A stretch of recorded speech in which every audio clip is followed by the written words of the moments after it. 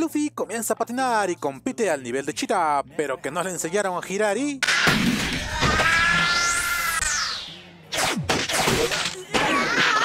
Y Cheetah va ganando por cuatro vueltas y para rematar agarran a Robin y la relantizan. Y Sanji que piensa algo y le dice al anciano, ¿de dónde sacaste el kiwi que comió Luffy? Y manda a Zoro a traer ese kiwi con Sherry, pero parece que no va a llegar a tiempo y que corte el árbol y que cae en la pista y Chiquichita se sale de la pista y pierde. Y ¡Viva!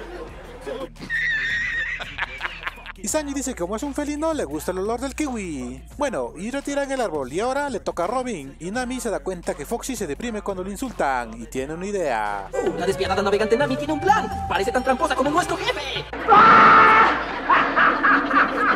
Y comienza la cuarta ronda. Y después de eso sale Luffy y usa la técnica de chiquichita y alcanza al tipo molusco y lo noquea. Y Robin esquiva a los demás. Y Nami que se robó el bastón de Porche. Y entonces Foxy entrará en acción. Pero que usan el plan de Nami y era... ¡Cabeza partida!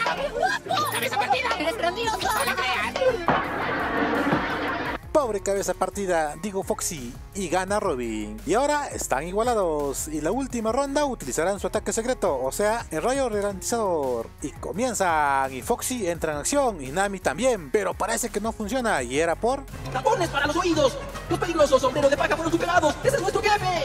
Y que el rayo no funciona en el otro participante, ¿por qué será? Y Foxy que usa el rayo en Nami y Usopp, y también le llega a Luffy, y Robin se retira de la pista. Y cuando el efecto pasa, Foxy piensa usar otra vez el rayo, pero Robin...